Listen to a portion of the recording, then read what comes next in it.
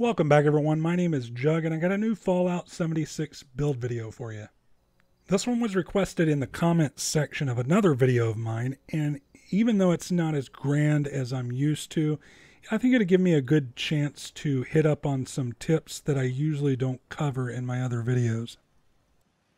The entire building is just eight walls and a few roofs, some foundations in there, but that's going to give me so much budget, I'm going to be able to just fill this place up. I got a lot of stuff to cover here, so stick around and I'm going to show you exactly how I do it.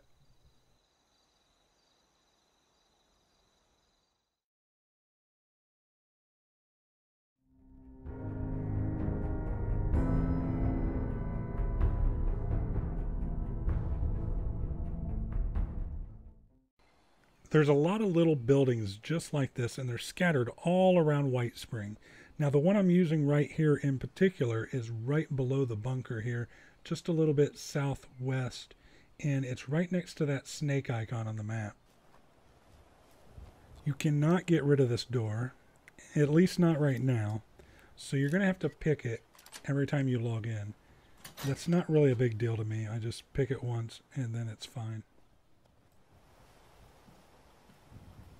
I like to put my camp right about here. That gives me just enough room to reach the water and it gives me enough room for foundations on the opposite side.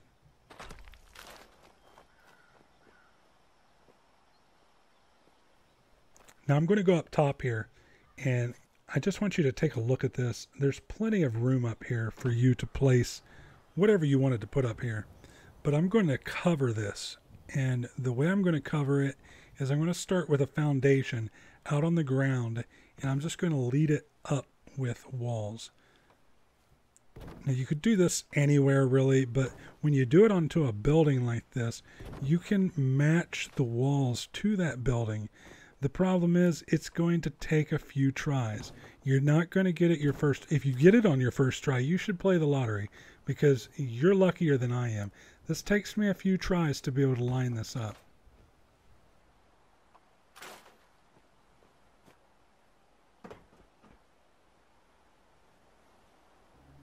That looks about as good as I'm ever going to get it.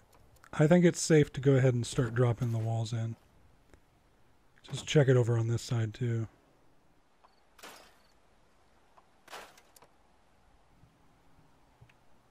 I'm going to go ahead and switch those out so I can put some sidewalls on. So I'm going to put the proper roof that I actually want to keep. And of course, I'm, I'm going to take that those roofs down put them back up, take them down again. I'm going to be doing that a lot actually. And you will be too if you're making this. It's just, it's the process, the order of things. Some things can go on before others and you got to just keep taking it down, putting it back whenever you need to change something. Very simple, not a whole lot to it. I can go ahead and clean this up, but yeah, I want to make sure I put a wall up here first. You know, really, I could leave the walls off for right now, but I'm just going to go ahead and put it up there. And go over here and get rid of that. Get rid of, nope, get rid of that. Mm-hmm.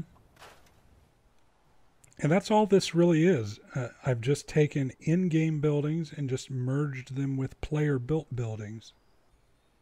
I wanted to expand this area, so I'm just dropping a foundation down and I'm trying to line it up with this corner right here.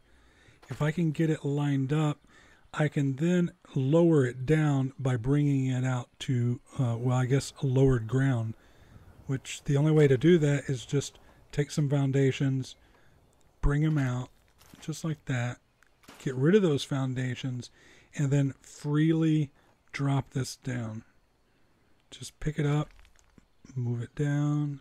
And when you think you got it right, right about there.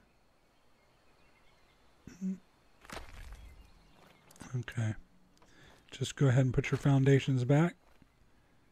And it should line up with the edge there.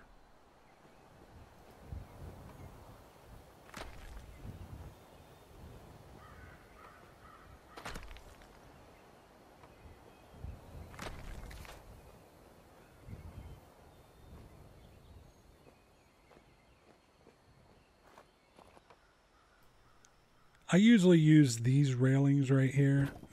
I guess it really just depends on what you're building.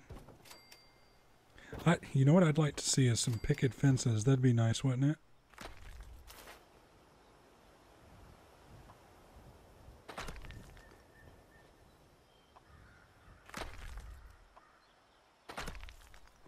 That's looking all right. You know, I should probably get a fence over there, though. Railing. There we go. Now I'm doing the same thing to the other side. I'm just lining this foundation up with the wall. And this time, since I don't have a clear path to low ground, I'm going to bring it up with walls and then just guide it out with ceilings or roofs. Just like that. Mm-hmm. Cool. As far as you need to go with it until you find some land that is actually low enough. Then you're just going to bring the foundation down and then switch all those back.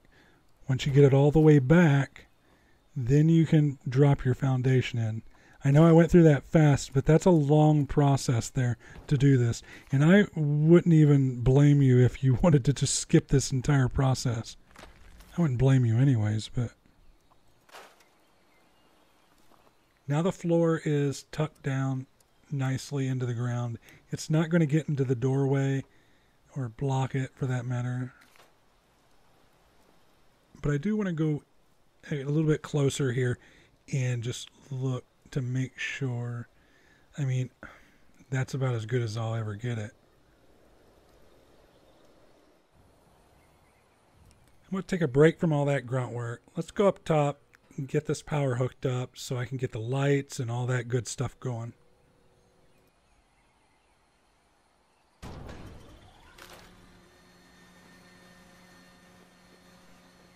I'm going to move this generator around a couple times, and that's really just so I can make room for all of the junk that I'm going to be putting up here. One of those things is going to be turrets, and I'm just going to set this on a table up here. Now, the window that it is facing is this small window. I tried it out with the wider window, and it did seem to work better, but I want to show you a test I did with this small window just to make sure it actually does work. It is firing straight through there, isn't it? Yep. Once it becomes active, that is, it can do it. So before I start taking those turrets and moving them, I want to take the power and get it outside of the building. I'm just going to run these conduits through the walls just like that. You, not every wall is the same. Some walls you can do that too, some walls you can't. You just have to try it. Uh, I guess you could just stick it through with a carpet.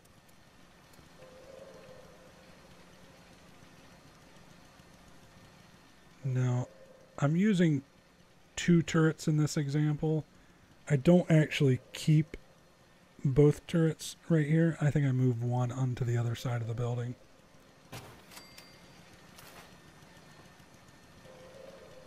The wire on this conduit down here in the middle is going to hit the table if I try and wire it straight to those.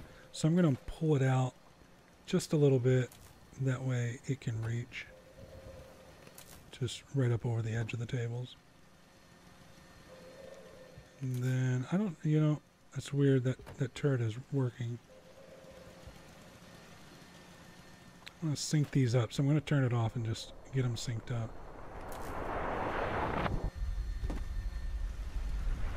There we go.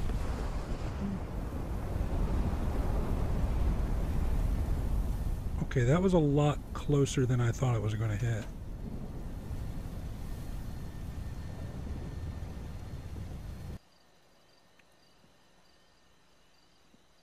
Most of the complicated stuff is out of the way. There's still a few tricks I'm going to do with the lights and uh, the mats. I just want to try and hide it all. But right now I just want to put all these crafting benches down. Just trying to find places they look kind of appealing and useful. And, you know, they don't need to be perfectly lined up. I know I have an OCD issue of doing this.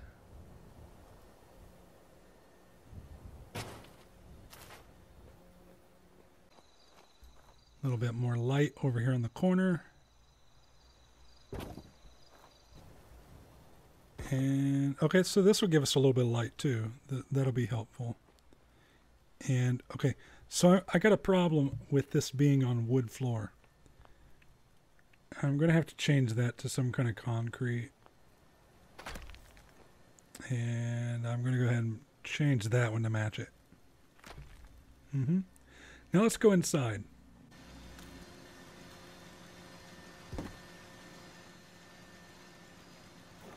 I don't want these wires to show. I hate navigating through a spider web of cords.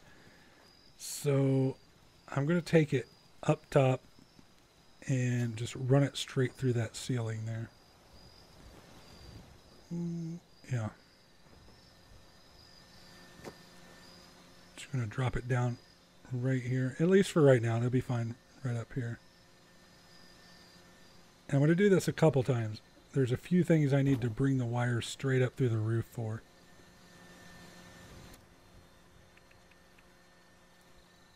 It's important to remember that the roof needs to go on first before you connect the generator to anything with the power.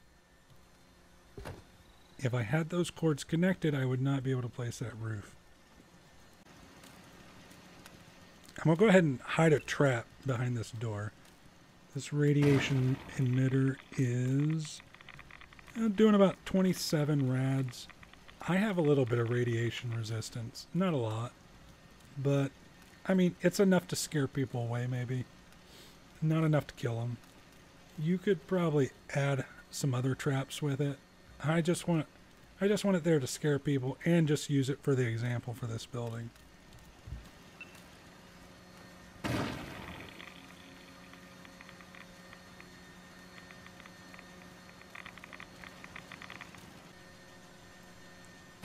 I'd like to have a couple ways to activate that trap. Just in case I want to do it manually, I could just hit the switch. I'm going to take two of these conduits, put them on a rug, and just move the rug a couple times. And I guess this is a technically a mat, but it's still called a rug. So I'll pick that up once I've moved it a couple times. And I'll just take it up top. As soon as I figure out which way is the quickest. Yeah, let's go this way.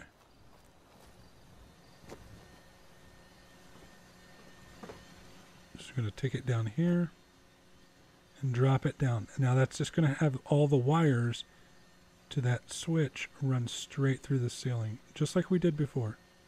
Only I'm doing it with two this time. That's what it looks like right there. Now I want to show you where those wires actually go. This one goes to this conduit from the generator and then from that conduit down to the switch, back up to the other conduit, and then out to where the power is going to connect everything. I had a pressure plate here at the door before, but I think I like the laser better. So I'm just going to take this laser, hook it up to the emitter, and then I, okay, so this laser cannot be connected to the same conduit that the emitter is hooked up to. I'm going to go up top and show you what I'm talking about. That conduit there has a switch connected to it. So I need a, another conduit that is different than that. And then I'm just going to take that conduit and then run it straight to the power. So that one is always connected. The other only works when the switch is on.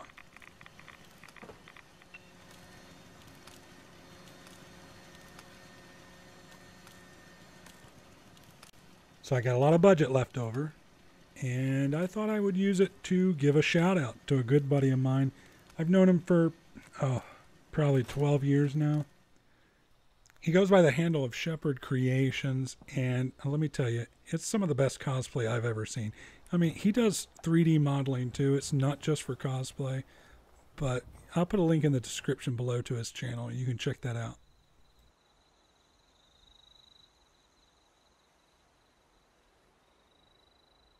Once again, our time has come to an end, but I will be back next week. It's going to be big. You don't want to miss it. If you like this video, hit that like button for me. It really helps me out. I'll see you next time.